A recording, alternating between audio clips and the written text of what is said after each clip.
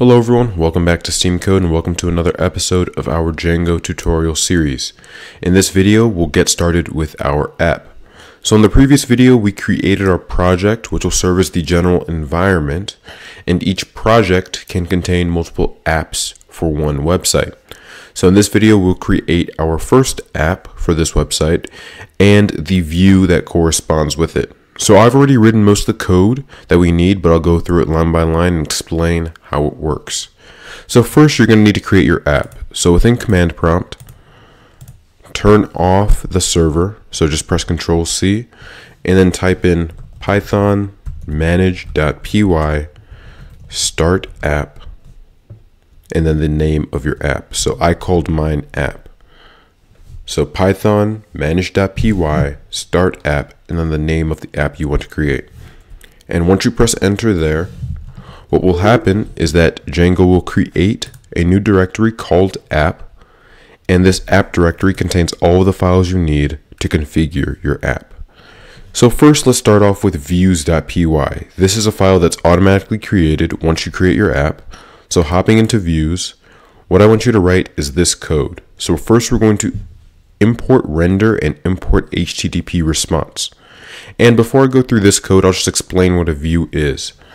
So a view in Django is a Python function that gets an HTTP request and returns an HTTP response.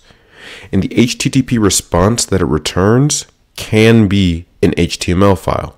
So in future videos, we'll replace this simple text with an HTML file to allow for further configuration. But what I want you to do is write def index request, and then within this function, all you need to return is an HTTP response of hello world. All right, once that's done, hop into settings.py because we want to tell Django that we created a new app. So inside of the installed apps directory, or inside of the installed apps array, create a new entry and just name it the name of your app. And you'll know what the name of your app is if you forgot up here underneath your project. So mine is just called app. So I wrote app down here. And then next we'll hop into URLs. So urls.py is not a file that is initially created when you create your app. So you're just you're just going to need to create a new file name it urls.py. And remember, if you don't know how to do that, right click on the directory you want to place it in, then press new file, and then name it whatever you want. So hop into this urls.py file that you just created and write down from django.urls import path from point import views and what this point is is just the current directory that you're in so from the app directory import views.py and then now you're going to create a URL pattern. So this URL pattern will be an array, or this URL patterns array will contain a path, and this path will be index, so just nothing. And then we're going to point to views.index. Remember, views.index is the function that we created here. So if we create another function and name it index2, for example, inside of URLs, we'd call this views.index2 and we'll call the name index as well. All right, once you've done that, hop into urls.py within the project folder. So underneath test site, there's another file called urls.py. Now this one is automatically created. So hop into urls.py and then write down this code.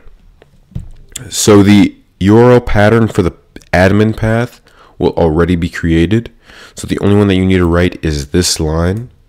And this line will be path and then the index path and then include app.urls or whatever the name of your app is .urls. Now once you save this and run it, so let's run our server. Let's say python manage.py run server. I'll be I'll be running mine on port 8088. And once you run that, what you're going to see is hello world. And remember, this is at the index path. And we can change this index path by hopping back into our VS Code. Let's change this path to, let's say, index 2. Save it.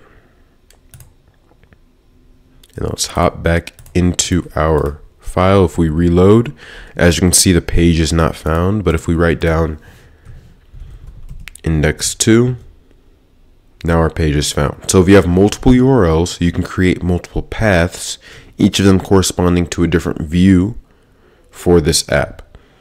So in future tutorials, we will create more paths that will correspond to HTML files.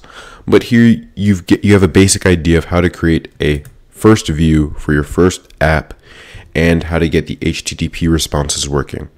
Hope you guys have enjoyed the video. If you have any questions, feel free to leave them in the comment section down below. This has been SteamCode, and I'll see you in the next one.